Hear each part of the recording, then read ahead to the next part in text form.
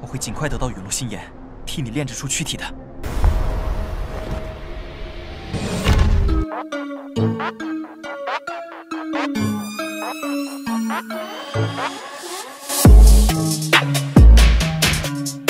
Halo para pecinta Battletoad Heavens dimanapun kalian berada Udah siap kancut dengan perjalanan Xiaoyan? Terima kasih untuk kalian yang selalu stay di sini dan udah meramaikan kolom komentar Wih lah, gak usah pakai lama-lama lagi, kita kancutkan perjalanan Xiaoyan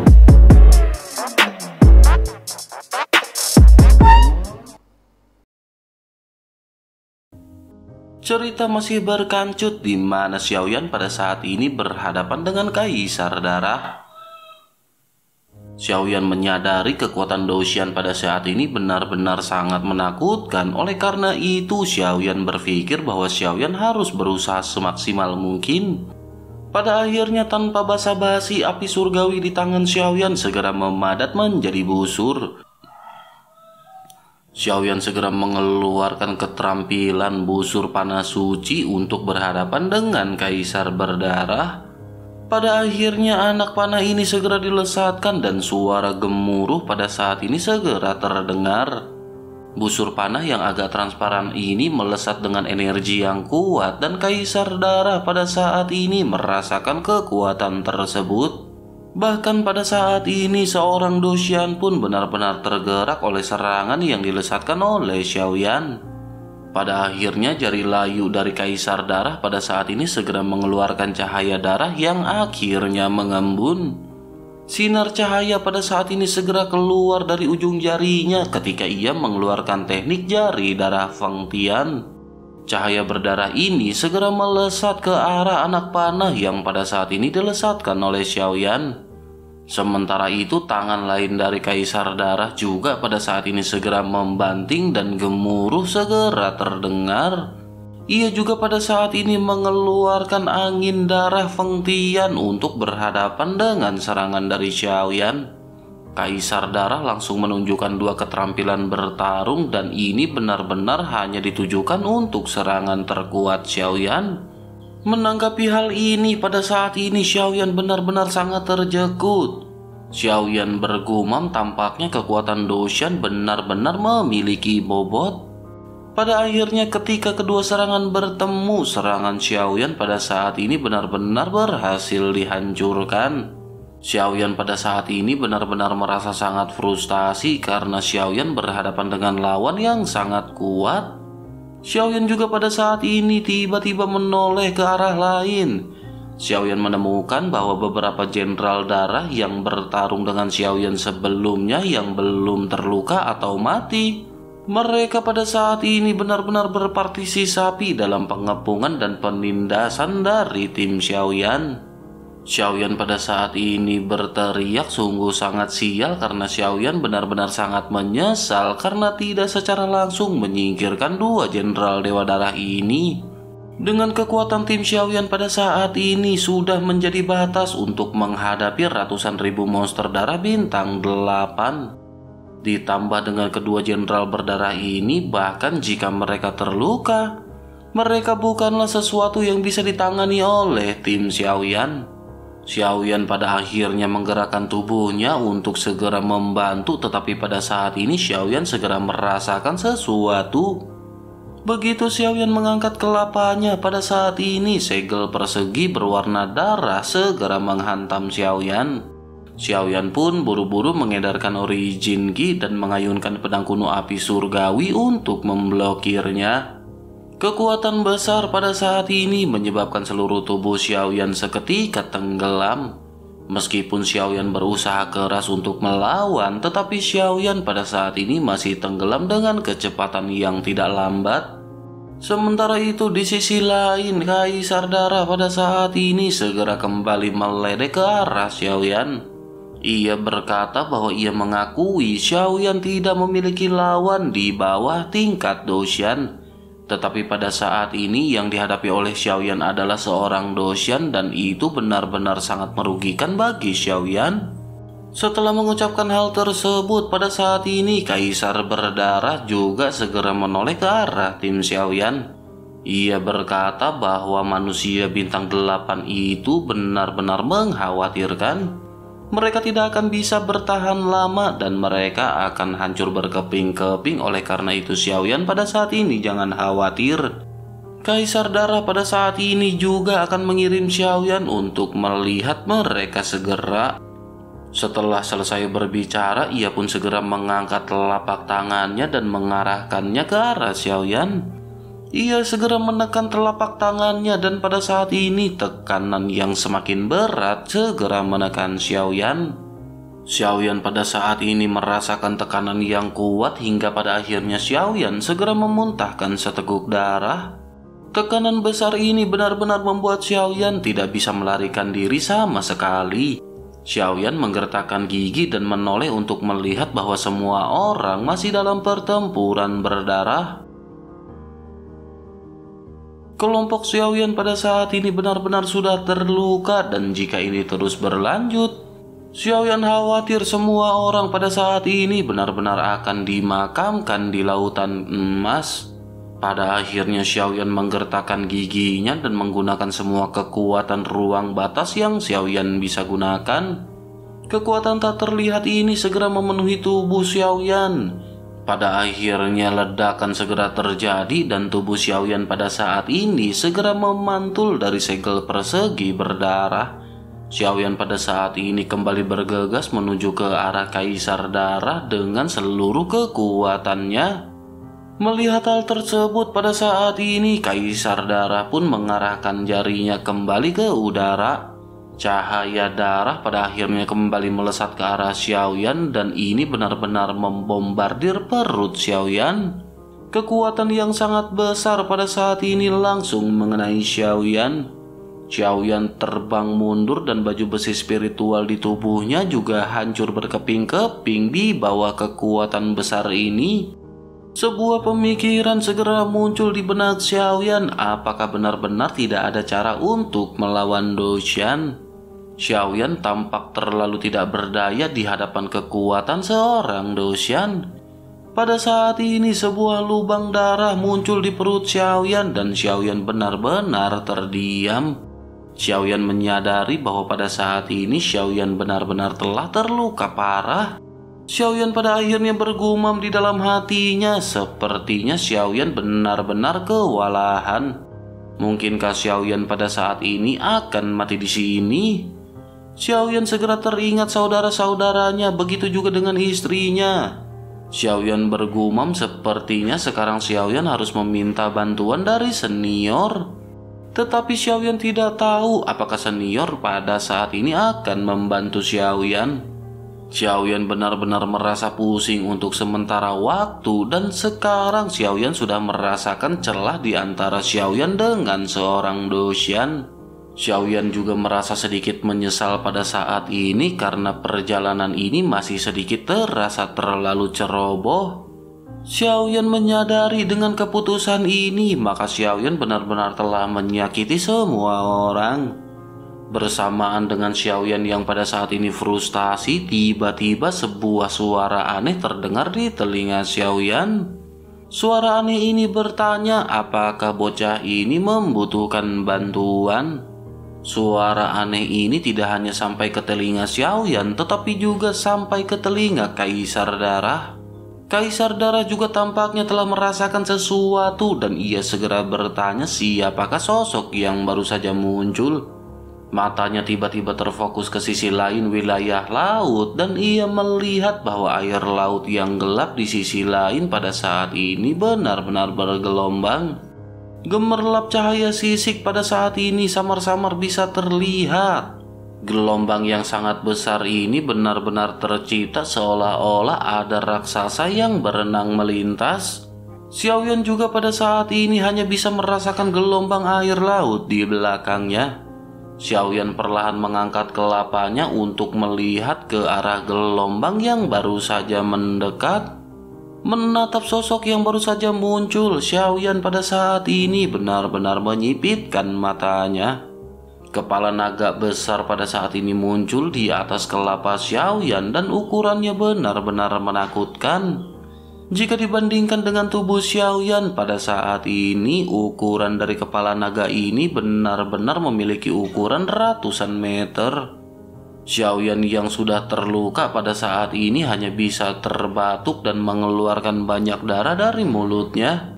Xiaoyan hanya bisa menatap ke arah kelapa naga yang pada saat ini benar-benar sangat besar. Xiaoyan benar-benar tidak bisa melihat tubuh bagian belakang dari naga yang baru saja muncul. Tetapi pada saat ini banyak juga sosok naga yang seketika bermunculan. Meskipun ukuran mereka relatif lebih kecil, tetapi jumlah mereka pada saat ini cukup banyak. Xiaoyan pada akhirnya segera menyadari bahwa sosok yang baru saja datang ini adalah orang-orang dari klan naga. Tentu saja tujuan mereka pada saat ini sepertinya untuk membantu Xiaoyan. Sementara itu di sisi lain sesosok yang dikenali oleh Xiaoyan pada saat ini segera berbicara kepada Xiaoyan. Sosok ini adalah Zian yang berkata kepada Xiaoyan bahwa mereka di sini untuk membantu Xiaoyan. Seketika Xiaoyan pun segera menoleh ke arah sosok Zian yang pada saat ini bersama dengan sosok naga yang tak terhitung jumlahnya.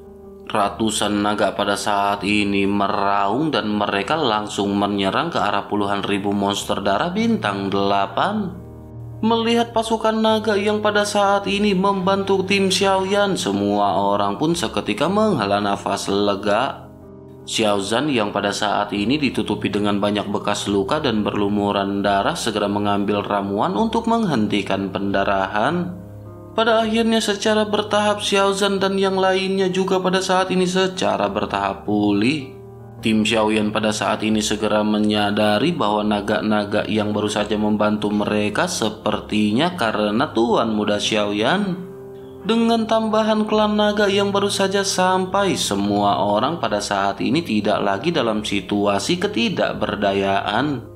Tetapi pada saat ini yang mengkhawatirkan bagi mereka adalah Jenderal Dewa Darah yang pada saat ini ikut berpartisipasi.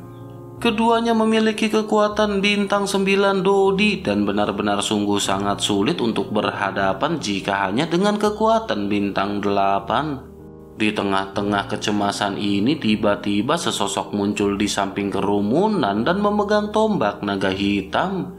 Sosok ini seketika menusuk langsung kedua jenderal Dewa Darah. Ekspresi keduanya pada saat ini seketika berubah dan semua orang pada saat ini sedikit merasa lega. Tampaknya pada saat ini ada juga sosok yang bisa berhadapan dengan kedua jenderal Dewa Darah. Sementara itu di sisi lain dengan penampilan dari klan naga yang pada saat ini muncul, Kaisar Darah juga tidak menyerang ke arah Xiaoyan tetapi menatap ke arah klan naga dengan tenang. Ia segera berbicara kepada sosok naga besar yang merupakan kaisar naga. Ia bertanya, bukankah ia dengan klannya setuju untuk tidak saling menyerang? Menanggapi hal tersebut, Kaisar Naga pada saat ini segera berkata, memang ia menyetujui hal tersebut. Tetapi Kaisar Darah benar-benar telah melanggar keluarga klan naga. Dengan begitu mereka telah melanggar perjanjian terlebih dahulu dan pada saat ini klan naga benar-benar akan membalas semuanya kepada monster darah. Menanggapi hal tersebut pada saat ini Kaisar Darah benar-benar bingung. Ia pada akhirnya segera bertanya kapankah ia telah menyerang klan naga mereka. Menanggapi hal tersebut, Kaisar Naga pada saat ini hanya berkata bahwa Kaisar Darah tidak perlu khawatir mengenai hal tersebut. Terlebih lagi pada saat ini, Kaisar Naga benar-benar tidak tahu apakah Kaisar Darah benar-benar tidak mengetahuinya atau tidak. Tetapi yang terpenting pada saat ini adalah Kaisar Naga hanya ingin menjernihkan mereka Keberadaan dari monster darah benar-benar sudah lama mengganggu klan naga mereka. Menanggapi hal tersebut, Kaisar Darah pada akhirnya menggertakkan giginya. Ia segera berkata bahwa Kaisar Naga baru saja menembus ke Dosyan. Dengan begitu, mungkinkah Kaisar Naga benar-benar ingin bertarung dengannya? Mungkinkah Kaisar Naga pada saat ini telah melupakan pelajaran sebelumnya? Menanggapi hal tersebut pada saat ini Kaisar Naga berbicara dengan lambat. Ia berkata karena ia belum melupakan pengalaman sebelumnya, maka ia di sini untuk membalas hal tersebut. Mendengar hal tersebut, Kaisar Darah pada saat ini benar-benar marah dan berkata dengan penuh amarah. Ia bertanya apakah Kaisar Darah pada saat ini benar-benar ingin melakukan pembalasan. Kaisar Darah pada saat ini benar-benar takut bahwa Kaisar Naga tidak akan memiliki kemampuan tersebut. Mendengar hal tersebut pada saat ini Kaisar Naga hanya bisa terdiam dan segera mengirim transmisi suara kepada Xiaoyan. Ia berkata kepada Xiaoyan bahwa ia tidak bisa bertahan lama. Ia memiliki ribuan kristal darah di sini dan ia rasa ia bisa membantu Xiaoyan. Bersamaan dengan perkataannya tersebut pada saat ini setumpuk kristal darah segera muncul di hadapan Xiaoyan. Ditambah dengan kristal darah di tangan Xiaoyan pada saat ini ada puluhan ribu di hadapannya. Xiaoyan yang pada saat ini telah meminum pil penyembuhan pun pada akhirnya segera membuka mulutnya untuk berbicara. Tetapi Xiaoyan pada saat ini menghentikan niatnya dan hanya menatap ke arah Kaisar Naga. Keduanya seolah-olah pada saat ini berpikir dan Xiaoyan pada saat ini segera menyadari sesuatu. Xiaoyan bertanya-tanya di dalam hatinya, mungkinkah kekuatan Doshan dari Kaisar Naga ini adalah palsu? Pada akhirnya Xiaoyan segera menekan pertanyaan ini di dalam hatinya dan memutuskan untuk tidak banyak bicara. Xiaoyan segera duduk mengeluarkan kristal darah yang telah Xiaoyan kumpulkan. Xiaoyan segera mengeluarkan api surgawi untuk digunakan secara liar dari tubuh Xiaoyan dan mulai memperbaiki kristal darah ini. Pada akhirnya kristal darah segera meluap dan Xiaoyan tidak ragu lagi untuk mulai menelan. Cedera di perut Xiaoyan pada saat ini pulih terlebih dahulu dan kekuatan Xiaoyan juga secara bertahap mulai meningkat. Ribuan kristal darah telah dimurnikan dan origin Ki yang kaya pada saat ini telah terkondensasi menjadi seperti sungai gas. Dengan pemurnian yang terus-menerus pada saat ini penyerapan Xiaoyan juga berlangsung dengan gila-gilaan. Xiaoyan pada saat ini juga merasakan bahwa jika Xiaoyan benar-benar dapat menyerap puluhan ribu kristal darah ini, Kekuatan Xiaoyan seharusnya dapat menembus hingga ke puncak bintang sembilan. Bersamaan dengan Xiaoyan yang pada saat ini memurnikan dan menyerap origin Ki, pertempuran di antara kedua kaisar pada saat ini benar-benar telah dimulai. Banyak suara nyaring seketika terdengar ketika keduanya saling bentrok. Pertempuran semacam ini membuat semua orang pada saat ini mundur jauh Bahkan monster darah bintang 8 juga pada saat ini benar-benar tidak berani untuk mendekat. Seiring dengan berjalannya waktu, pada saat ini pertempuran secara bertahap menjadi semakin memanas. Kaisar darah pada saat ini segera berkata karena Kaisar Naga datang untuk mencari kematian, maka hari ini ia akan menyingkirkan klan naga mereka Mata Kaisar Darah pada saat ini berwarna merah darah dan jubah hitam di bawahnya pada saat ini memancarkan cahaya ganas. Niat membunuh yang sangat kuat pada saat ini benar-benar menyerimuti Kaisar Darah. Dengan telapak tangan yang layu pada saat ini jubah di kelapanya seketika terbuka. Kaisar Darah memperlihatkan wajah asli di balik jubah hitam dan penampilannya pada saat ini tidaklah aneh ia memiliki keindahan di wajahnya meskipun pada saat ini kulitnya berwarna merah darah. Pada akhirnya Kaisar Darah menyeka dahinya sebelum akhirnya mengeluarkan teknik mata langit gua Dewa Darah. Energi darah pada saat ini berkumpul di sekelilingnya sebelum akhirnya berubah menjadi 10.000 cahaya darah. Cahaya ini pada saat ini segera mulai melesat ke arah Kaisar Naga Sementara itu di sisi lain pada saat ini cakar naga besar dari Kaisar Naga juga segera bergerak. Kaisar Naga pada saat ini mengeluarkan teknik cakar naga kuno membelah langit. Pada akhirnya kedua serangan pada saat ini benar-benar berbenturan dan energi yang sangat besar segera melonjak. Pada saat ini cakar naga bisa bertahan sejenak sebelum akhirnya benar-benar runtuh. Menyadari hal tersebut, Kaisar Naga pun segera mengayunkan ekor besarnya untuk menyapu serangan sisa. Pada akhirnya kedua serangan kembali bertabrakan dan pada saat ini kedua serangan benar-benar saling runtuh. Pertarungan di antara keduanya pada saat ini terus terjalin dan lautan pada saat ini benar-benar semakin bergelombang. Ombak pada saat ini benar-benar tidak pernah berhenti di tengah pertarungan keduanya. Sementara itu di sisi lain pada saat ini dengan partisi sapi dari klan naga Monster darah bintang 8 ini benar-benar sangat jelas bukan lawan mereka namun karena jumlah dari monster darah pada saat ini benar-benar sangat banyak, maka sulit untuk mengatakan pemenangnya untuk sementara waktu. Sementara itu, dua jenderal Dewa Darah yang tersisa pada saat ini masih terjerat dengan Long Qiong. Tetapi pada saat ini Long Qiong dapat dengan mudah berhadapan dengan keduanya Hal itu dikarenakan kedua jenderal Dewa Darah pada saat ini benar-benar telah terluka parah oleh Xiaoyan. Pada akhirnya setelah beberapa pertempuran melawan Long Qiyong, dua jenderal Dewa Darah ini benar-benar kembali terluka. Terlebih lagi pada saat ini Xiao Zhan dan yang lainnya juga ikut bertempur bersama dengan Long Qiyong. Oleh karena itu pada akhirnya dua jenderal Dewa Darah benar-benar tidak bisa bertahan lagi. Pada akhirnya dengan tebasan dari tombak Long Qiong, ia benar-benar berhasil memutuskan leher dua jenderal Dewa Darah. Segera setelah itu kristal darah pun melayang dan Long Qiong segera menarik kristal darah tersebut. Long Qiong telah mencapai bintang 9 pada saat ini. Oleh karena itu ia mengumpulkan beberapa kristal darah dan itu akan berguna baginya.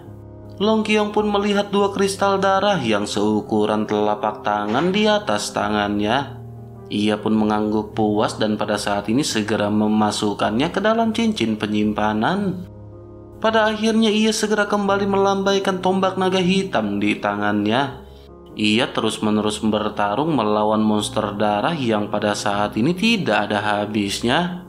Semua orang juga pada saat ini mengumpulkan kristal darah dalam jumlah yang berbeda-beda. Tentu saja yang mereka kumpulkan pada saat ini adalah semua kristal darah yang bersumber dari monster darah bintang 8. Waktu pada saat ini terus berlalu dengan situasi yang masih seperti ini. Air laut di atas reruntuhan pada saat ini tidak lagi keemasan dan telah diwarnai oleh darah monster. Bau darah yang kuat juga pada saat ini benar-benar menutupi semua perairan dan membuat semua orang merasa tidak nyaman. Pertempuran ini benar-benar masih terus berlanjut dengan banyaknya mayat yang berseliweran. Selama pertempuran ini, kelompok Xiaoyan pada saat ini merasa bahwa kekuatan mereka di tahap awal bintang 8 telah mengendur. Pada saat ini kekuatan Nan Erming yang berada di tahap menengah bintang 8 juga mulai meningkat. Gaya bertarung Nan Erming juga pada saat ini menjadi lebih kuat dan mendominasi.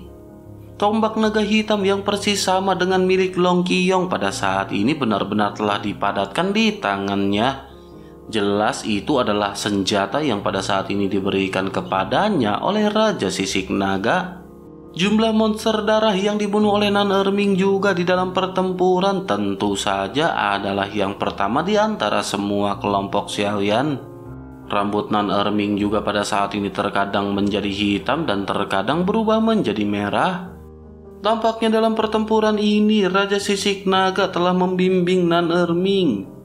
Keterampilan bertarung dan skill bertarung yang ditampilkan oleh Nan Erming juga pada saat ini semakin matang. Sementara itu di sisi lain api surgawi berputar di sekitar Xiaoyan. Semua kristal darah yang telah disempurnakan menjadi origin abadi pada saat ini terus diserap oleh Xiaoyan. Pembentukan tubuh abadi juga pada saat ini benar-benar menjadi semakin cepat. Tetapi meskipun begitu, pada saat ini pusaran doki di dalam tubuh Xiaoyan sepertinya sedang ditarik. Jika Xiaoyan ingin memperluas, maka Xiaoyan harus mematahkan lingkaran tersebut. Xiaoyan harus membentuk kembali pusaran yang berasal dari origin Qi. Tetapi jika Xiaoyan menghancurkan pusaran ini, maka itu akan menyebabkan doki Xiaoyan menjadi liar. Pada saat itu, maka Xiaoyan benar-benar harus memiliki pasokan besar origin Qi untuk memadatkan pusaran yang lebih besar. Menyadari hal tersebut, Xiaoyan pada saat ini mengerutkan keningnya. Xiaoyan bergumam di dalam hati bahwa ia tidak tahu apakah origin Qi abadi ini akan cukup. Jika origin Qi ini tidaklah cukup, maka ini benar-benar akan sangat mengerikan. Xiaoyan pada saat ini benar-benar terganggu dengan hal tersebut, tetapi situasinya pada saat ini benar-benar mepet. Xiaoyan pada saat ini menyadari bahwa Kaisar Naga pada saat ini membantu Xiaoyan untuk menahan waktu. Pada akhirnya Xiaoyan pada saat ini tidak memiliki waktu untuk memikirkan hal tersebut. Xiaoyan pun bergumam pada saat ini Xiaoyan benar-benar tidak peduli lagi. Xiaoyan tidak tahu berapa lamakah Raja Naga pada saat ini akan bisa bertahan. Oleh karena itu Xiaoyan harus memanfaatkan kesempatan ini untuk meningkat dengan cepat. Ledakan pada akhirnya segera terjadi dengan semburan suara menderu di tubuh Xiaoyan. Xiaoyan pun menggertakkan giginya dan pada saat ini memecahkan pusaran yang kental. Tiba-tiba kulit Xiaoyan pada saat ini bersinar terang seolah-olah origin abadi yang besar menyerang dengan keras. Semua meridian di tubuh Xiaoyan pada saat ini dipenuhi dengan origin Ki abadi dan tidak ada tempat untuk menampung Ki Kaisar. Origin Ki abadi pada saat ini benar-benar mengalir ke dalam tubuh Xiaoyan. Tetesan darah yang padat tiba-tiba muncul di pori-pori Xiaoyan dan pakaian Xiaoyan pada saat ini segera berlumuran darah. Gigi Xiaoyan semakin terkatup karena pada saat yang bersamaan, Xiaoyan dengan gila-gilaan menyerap origin abadi yang telah disempurnakan dari kristal darah. Origin abadi ini benar-benar membawa tekanan ke dalam tubuh Xiaoyan dan jika terus seperti ini, itu akan dapat memadatkan pusaran dan Xiaoyan kemungkinan besar akan dipaksa meledak oleh origin Qi yang berlebihan. Dengan origin abadi di tubuh Xiaoyan yang telah mencapai titik yang tidak dapat dikendalikan, beruntung pada saat ini kekuatan lain memenuhi seluruh tubuh Xiaoyan dalam sekejap. Kekuatan dari tiga keajaiban pada saat ini segera mulai melonjak bersamaan. Ketiganya secara paksa menekan semua origin abadi yang mengamuk di dantian tubuh Xiaoyan. Xiaoyan terus-menerus mengendalikan origin abadi dan memadatkannya kembali menjadi pusaran abadi yang lebih kuat di dalam tubuhnya. Setelah berhasil dipadatkan, maka Xiaoyan akan berhasil mencapai puncak bintang 9 dan Xiaoyan hanya selangkah lagi menuju Doshan. Sementara itu bersamaan dengan terobosan gila yang dilakukan oleh Xiaoyan, Kaisar Naga dan Kaisar Darah pada saat ini bertarung semakin sengit. Tampaknya tidak ada pihak yang lebih unggul di antara keduanya. Pertempuran seri ini pada saat ini membuat wajah dari Kaisar Darah menjadi semakin jelek. Sementara itu Kaisar Naga memandang ke arah Xiaoyan dari waktu ke waktu dan matanya juga pada saat ini menjadi tidak pasti. Pada saat ini sepertinya Xiaoyan adalah taruhan baginya. Jika di dalam taruhan ini ia menang maka hal itu benar-benar akan sangat bagus. Tetapi jika ia kalah dalam taruhan ini, maka seluruh klan naga benar-benar akan hancur. Melihat kecemasan di wajah Kaisar Naga pada saat ini, Kaisar Darah pun tersenyum dingin. Ia segera bertanya apakah Kaisar Naga tua pada saat ini masih menantikan manusia ini. Di antara bintang sembilan memang bocah ini benar-benar bersikap kejam. Tetapi bagi seorang dosian, bintang 9 benar-benar bukanlah apa-apa. Bahkan jika bintang 9 itu berada di puncaknya, itu mustahil bagi mereka untuk melawan Kaisar Darah. Menanggapi hal tersebut, Kaisar Naga pada saat ini tidak ingin berdebat dengan Kaisar Darah. Oleh karena itu, ia menjawab dengan acuh tak acuh bahwa hal itu masih belum tentu. Setelah berbicara pada saat ini, ia segera melesatkan ekor naganya lagi. Kaisar Darah seketika sedikit tertegun sebelum akhirnya cahaya berdarah berkilau di telapak tangannya.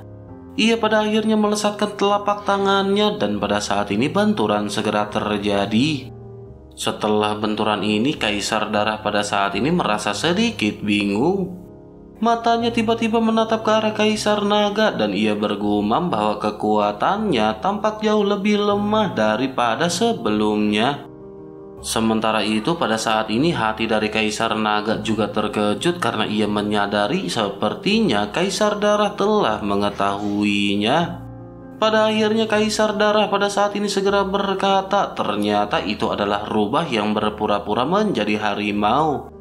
Pada saat ini ia benar-benar khawatir bahwa kekuatan Doshan dari Kaisar Naga hanyalah sebuah omong kosong.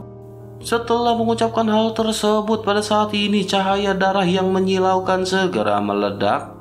Kaisar Naga pun segera melesatkan ekornya dan pada saat ini benturan kembali terjadi dan Kaisar Naga seketika kesakitan. Ia pun segera menarik kembali ekornya sebelum akhirnya kembali melirik ke arah Xiaoyan. Kaisar Naga bertanya-tanya di dalam hatinya apakah ramalan dari pendeta tertinggi itu adalah benar.